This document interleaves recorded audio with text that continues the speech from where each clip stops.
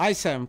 First of all, thanks for actually taking the time to talk to us about all things generative AI and Ninja Tech. Uh, so, thanks for having me. Yeah. Uh, jumping right in, uh, can you tell us a little bit about uh, Ninja Tech? Surely. Um, Ninja Tech is a multi agent personal AI that gets tasks done for you. Our mission is to make everyone more productive by taking care of time consuming tasks with specialized agents. In other words, we want to give one hour of productivity time back per week to every information worker around the world. Currently, we offer four AI agents the researcher, the scheduler, the coder, and advisor. But it's worth noting that a lot of this ability to interact with Ninja is not just through our web sort of interface to to, to chat with uh, with Ninja, but also you can chat with it through a lifelike multilingual avatar built with Unreal Engine 5 for ultimate realism. Perhaps more importantly, we've proudly built Ninja agents on AWS's custom AI silicon AWS ecosystem. Probably one of the first startups to build an AI agent without a single GPU, knowing me. That sounds amazing. Uh, actually, can you share a little bit about uh, your role at the company and a little bit of your history as well? Surely. Um, I'm the co-founder and chief technology officer here at Ninja Tech. Uh, I joined at the ground floor as we were kicking off our ideation stage way back in 2022. Prior to Ninja Tech, I led Meta's AI system co-design efforts spanning from AI model optimization for boosting ad scores all the way to building custom training inference silicon for Meta's AI workloads. Ninja is my third startup having sold several companies prior, including DecaSense, which brought AI for smart cities, and Citadelica, which built software defined networking appliances back when they were cool. What really led to the inception of Ninja Tech was a statistic that both myself and my co founder noticed while leading large orgs at Meta and Google. And that professional workers are spending a large component of their time on tasks that can fully be automated and delegated to an AI agent, such as basic calendaring, researcher code advising on various topics. So, what best to focus on bringing productivity while innovating on the forefront of generative AI to democratize access to personal AI, which has been out of reach for most people until today. Just to uh, take that uh, further, maybe can you share a little bit about your experience with uh, Trainium and Inferentia? What was it like? Why was it the best option for you? Surely. Um, frankly, um, it really comes down to several components. The first is one of the challenges we faced was availability of quota um, on things such as GPUs. Uh, everybody's fighting for GPUs, as you know. Um, but frankly, what, what ended up happening is we're able to leverage AWS, Trainium, and Inferentia and able to get sort of on-demand quota, uh, which was not possible with many other sort of solutions. They uh, many other CSPs which we've tried, and they're all fantastic. They all have various you know strengths and weaknesses. But most of them say, even within AWS, that you have to look, this is a scarce and sought upon entity, you have to reserve. And so just simply having this access to on-demand availability at your fingertips to leverage and scale your experiments to exaflop level, I think is a huge unlock. Beyond that, um, it really comes down to cost. Um, if you think about the cost aspect, uh, we're approximately 82 to 89% more cost efficient in comparison to uh, GPUs. I'm specifically talking about TRN uh, 1 and INF 2 versus that of, say, H100. And this cost aspect is very important. If you think about the fact that we are trying to offer basically an affordable personal AI to every information worker, this really needs to be affordable to them. Uh, there has to be cost savings which directly translate to more savings to the end user. And so this has been very pivotal for us to ensure that we leverage uh, such custom silicon to keep the cost low. Best of all, uh, none of this would have been possible with the level of support that we get from AWS folks, especially on Neuron, to get some of the latest prominent models working on this silicon. Uh, I'm an ex Meta person and super proud to be using Llama 3 today. Um, and uh, it's it's it's it's quite interesting. Some of my own teams have been working on this even at Meta, and Llama 3 is amazing. It's uh, it's definitely cut above from Llama 2 in terms of accuracy, but more importantly, being able to leverage Neuron and being able to scale this particular model uh, onto custom silicon has been quite. That's, that's awesome. First of all, our Neuron team would be delighted to uh, see this whenever they get to see it and uh, hear such feedback. Now, you touched on Llama 3 and uh, not only leveraging the Trainium Inferentia stack, but also sounds like you use SageMaker to fine tune some of these uh, as well. Maybe can you share a little bit, uh, if that is okay, on uh, where does SageMaker come in? Is it like you take these to do like uh, train specifically for agentic behavior, or uh, how should I think about it? Yeah, yeah. Um, that's a very good question. Before I answer that, I, I want to talk a little bit around the complexity around what it is we're trying to do with agentic in mind.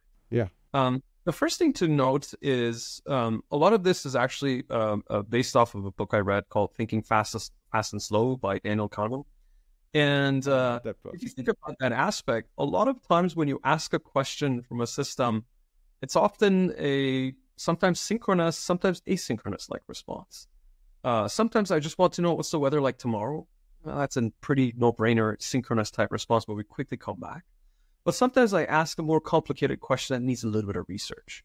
So similarly, if you think about um, just how you would interact with a normal human being, if you ask them a complicated question, you need to think about it.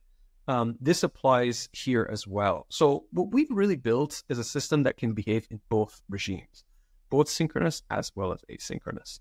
In specific, when it comes to questions that are more complicated that you need to go and think about, such as that of the asynchronous. Let's say I want to schedule a meeting with someone. This person, the world really operates asynchronously. This person is not available at your disposal meet them. Uh, they will answer you when they can. So really, before I jump into the SageMaker piece of it, there's a lot of orchestration that needs to happen here uh, to just have the LLM ready, but also all these different context and memory leveraging data stores and caches and gateways to talk to search uh, sort of engines, uh, as well as having a communication bus to relay all the messages together and be done in time, and as well as with uh, sort of having a state machine in mind that can wake up and go to sleep on various events. As soon as this person responds to my email that yes, I am available to meet sometime next week, let me look up my calendar. I need to wake up this job, negotiate with this person, come up with a consensus. So beyond that, really, um, we've also leveraged a lot of SageMaker here as well. SageMaker has been really pivotal here, and in the sense that we're able to uh, extend our training jobs, leveraging TRN1, of course, uh, but using on-demand uh, sort of pools here. This is really key. Why? Um, experimentation and rather the science of what we do is quite bursty. It's not that always fine tuning continuously. So if I have to not have you know, SageMaker and just sit on bare metal or or reserve instances of GPUs, there'd be a lot of wasted time that these GPUs are just sitting there not being used. And so having SageMaker with the ability to conduct sort of loads on demand is really key for bursty like applications such as that of training. And this access to exaflop also is key because our sort of data scientists are able to quickly do experiments and get results as soon as possible to, to find out what works and what doesn't work. So in essence, uh, you know, SageMaker has been paramount in that sense that it gives us this quick access. It gives us exaflop at our fingertips. It allows us to not break the bank, um, but at the same time, being able to quickly deploy, create endpoints, experiment with them, evaluate them, and should they be, you know, meeting our bar, inject that into the product without having to worry about babysitting these things. One of the things I want to quote is uh, quoting, you know, the AWS CTO, um, Werner Vogels. Uh, he says, "Stop spending money on undifferentiated heavy lifting." And this is exactly what we want to focus on. That if I'm not, if we are as a company are not spending our time in auto remediation or building systems that that can, you know, ensure health checks of, say, um, GPUs or or you know ML systems hosting your models, then we can focus on building agents and skills and rather the undifferentiated component versus other companies. I love it. I was just about to say it sounds like it is addressing a lot of undifferentiated heavy lifting, but uh, I think you summarized it uh, really, really well. So, uh, I mean, uh, you're a founder who's uh, pushing the boundaries on uh, innovation, especially with Gen AI. So, well, um, what are you hoping to do next with generative AI? Oh, lots of awesome things. Um, the first thing is that honestly, we want to get Ninja in the hands of everyone. Um, truly believe that a Ninja is an incredible way to help everyone harness the power of AI to be more productive. Uh, but at the same time, we want to also extend the number of AI agents that we have. Uh, you know, we started with four custom agents today, but we're now able to build and train new ones much faster with, of course, AWS's support. So we'll definitely quickly start to offer additional skills to attack a broader set of tracks. But as well, if you think about it, more cohesion and collaboration between agents could be possible. Um, that's some of the features that I'm personally very excited about.